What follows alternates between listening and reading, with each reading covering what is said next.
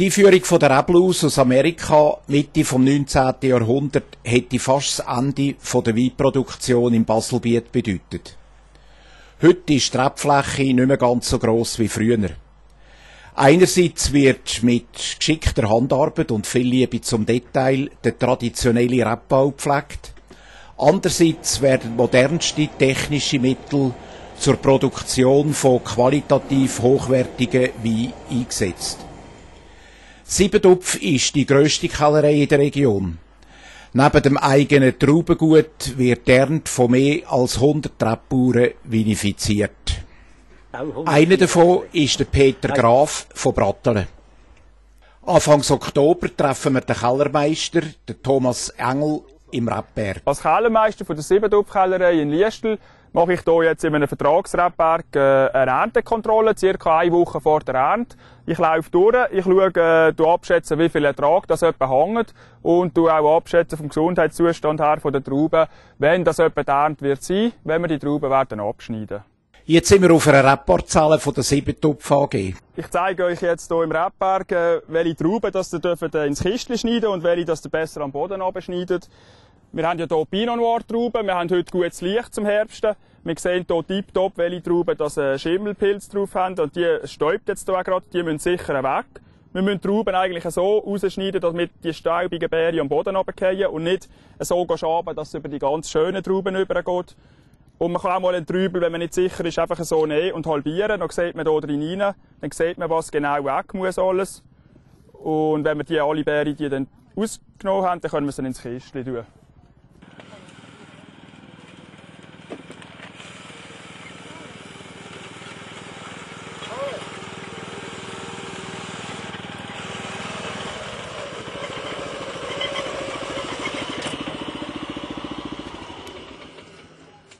Abend wird die Traubenernte in die Kellerei gebracht.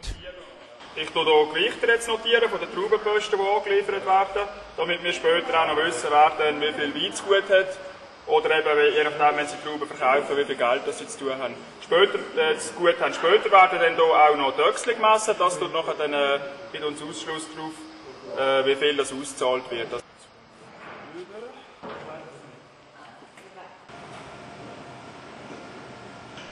Zuerst werden die Traubenbeere von der Stiel getrennt.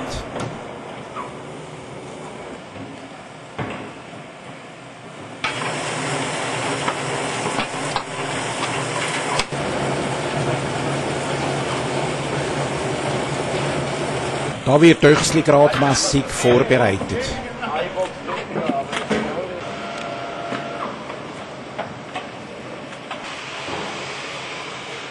Jetzt jetzt sogar 95.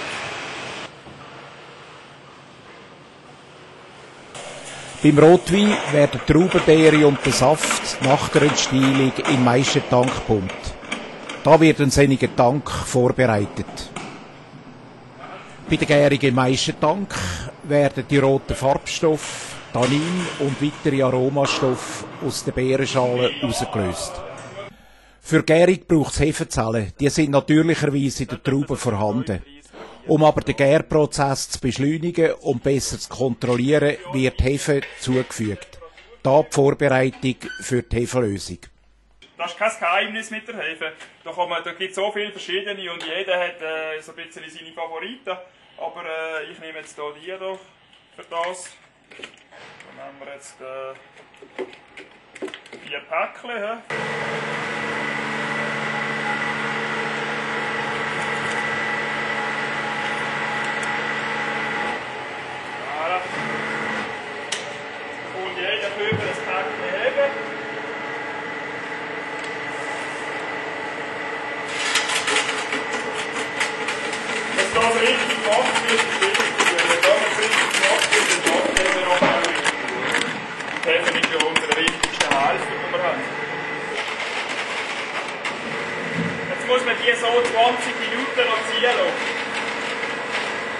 habe richtig schön gesehen, wie jetzt die Hefe hier von, von quellen.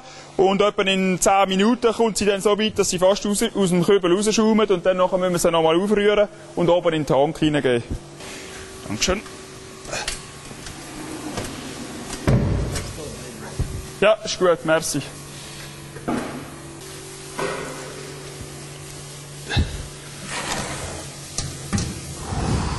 Jetzt tun wir hier noch kurz rund das heisst, wir tun ein bisschen Saft von unten oben übersprühen, damit die Hefe voll in, im Ost liegt, damit sie arbeiten kann. Heute tun wir jetzt einen Tank, wo jetzt während fünf Tagen hier die meisten vergoren ist drin, tun wir abpressen. Das heisst, wir ziehen unten den Saft weg. Der geht dann nachher hier über die Pumpe auf die Presse. Der fast fertig vergorene Jungwein wird auf die Presse von der Traubenschale und Kerne getrennt und fließt anschließend aus der Wanne mit den Hefen in den Keller oben in einen Tank, wo die Gärung abgeschlossen wird. Wenn nachher der ganze aus dem Tank draußen ist, dann haben wir ja nur noch den festen Bestandteil, die sogenannte Maische drin.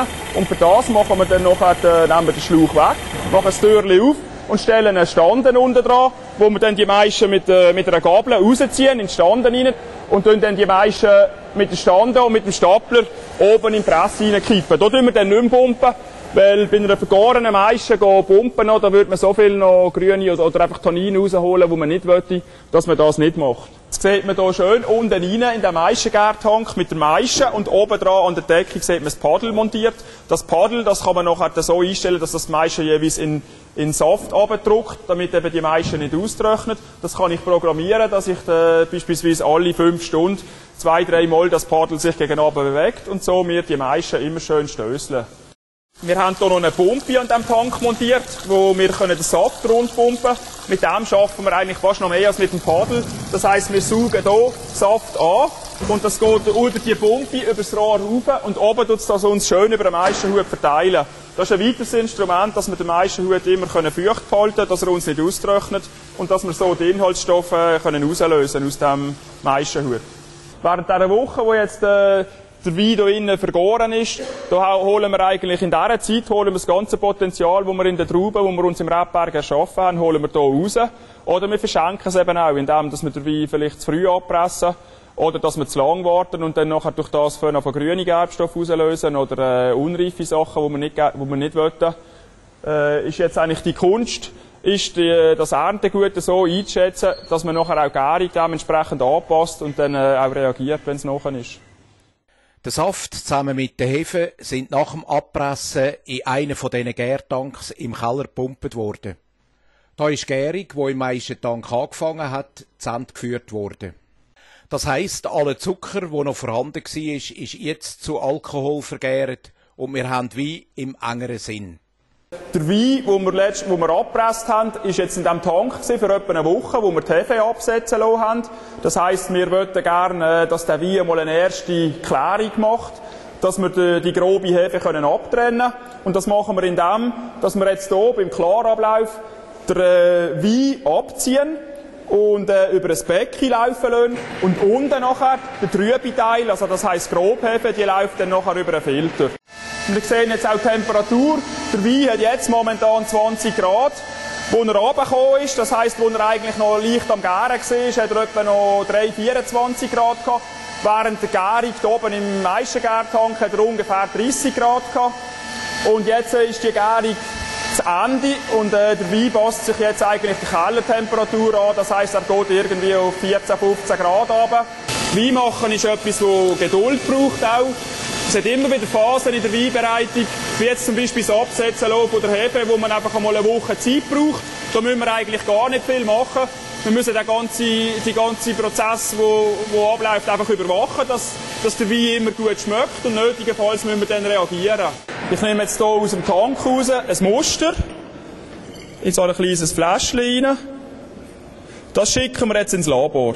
Weil wir wollen wissen, wo stehen wir jetzt mit dem Wein zum jetzigen Zeitpunkt. Das heisst, wir lassen hier untersuchen, wie viel äh, Äpfelsäure hat er drin, hat er schon Milchsäure drin, das heisst, hat der BSA schon angefangen, wie viel Weinsäure haben wir. Wir würden gerne auch vielleicht jetzt schon mal wissen, wie viel Alkohol hat der Wein. Und äh, das sind Parameter, die uns nachher helfen, um die weiteren Entscheidungen zu treffen. Jetzt lassen wir hier die Pumpe an.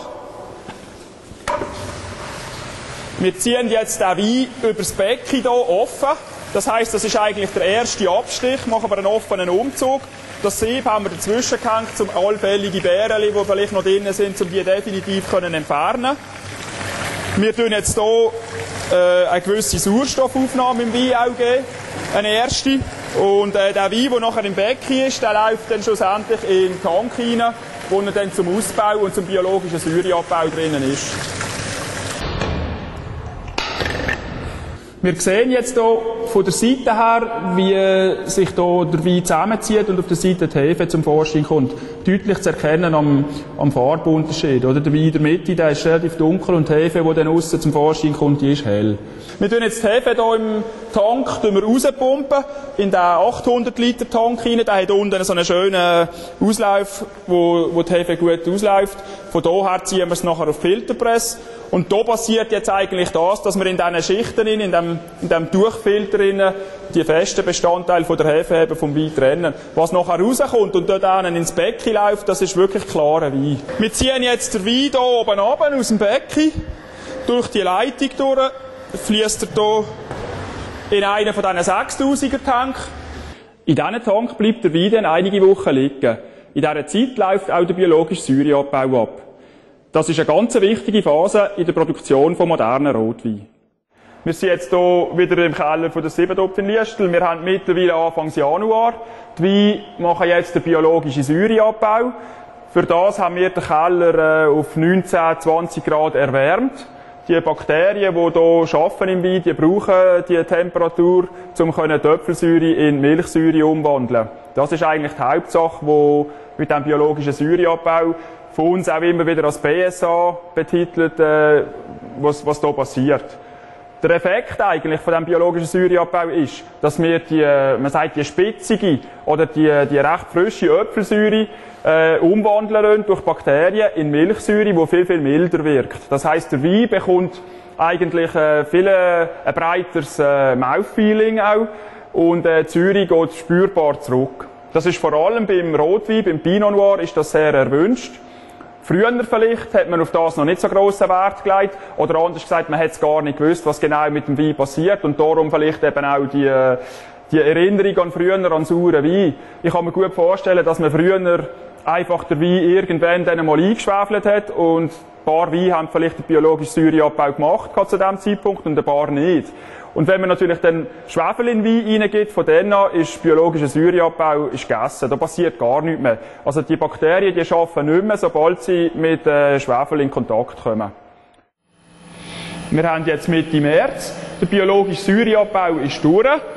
Wir haben den Wein jetzt langsam mit Schwefel stabilisieren. Und was wir jetzt machen hier, ist mit dem Crossflow-Filter äh, den Wein klar machen. Das heisst, wir tun hier Trubpartikel und Hefereste aus dem Wein entfernen, so dass er nachher glanzklar wird. Das ist eigentlich der Schritt, wo, wo jetzt im Moment am meisten Zeit in Anspruch nimmt. Und nachher sind die Weine quasi nur noch, müssen wir es dann einfach noch stabilisieren im Schwefel. Und das heisst, die Ausbauphase, der Wein muss noch ein bisschen reifen und nachher äh, kann man ihn dann abfüllen.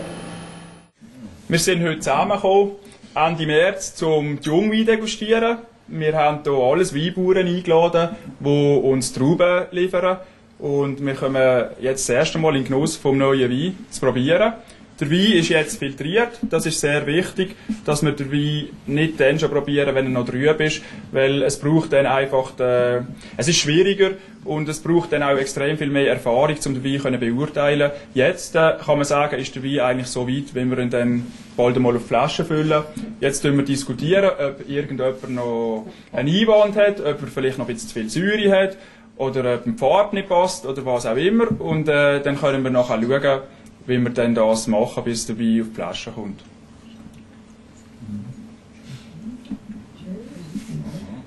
Zum Wohl, Herr. Zum Wohl miteinander.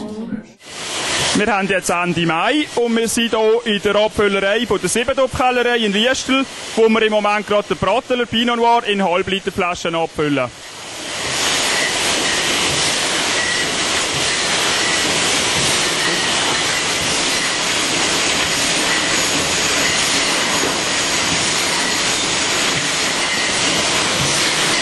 So wird jetzt aus der Flasche die Luft entzogen und durch Stickstoff ersetzt, damit wir möglichst keine Oxidation mehr auf der Flasche haben. Und hier sehen wir, wie drei Verschlüsse aufgesetzt werden und anschließend mit dem Rollkopf angerollt werden.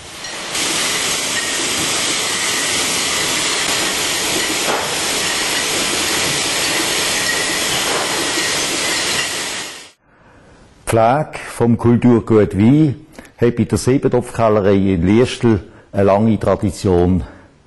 Wir widmen uns deren Aufgabe, deren schönen Aufgabe, seit 140 Jahren, seit der Firmengründung. Als grösste Baselbieter Kellerei mit modernen technischen Einrichtungen haben wir natürlich auch eine klare Orientierung, klare Wertvorstellungen. Wir haben die zusammengefasst in drei Begriffe. Charakter, Qualität und Nuss. Wir meinen damit, dass wir charakterstarke Weine herstellen, dass sie qualitativ einwandfrei sind und dass der Konsument beim Trinken einen Genuss hat. Unsere rund 30 Mitarbeiter engagieren sich für diese Ziele mit großer Begeisterung. Ich habe eine Hochachtung davor. Mit einem hohen Fachwissen und mit einem handwerklichen Können. Nur so ist es möglich, dass wir jedes Jahr Traubenarm von rund 100 Rebauern übernehmen, durch den Winter durch bis im Frühsommer vinifizieren und einen genussvollen Wein herstellen. Wir gehen regelmäßig an nationale und internationale Veranstaltungen, lassen unsere Weine prämieren und die Medaillen, die wir heimbringen, die bestätigen uns, dass wir uns bei den Besten einreihen dürfen. Das erfüllt uns mit Stolz und gibt uns eine Zuversicht.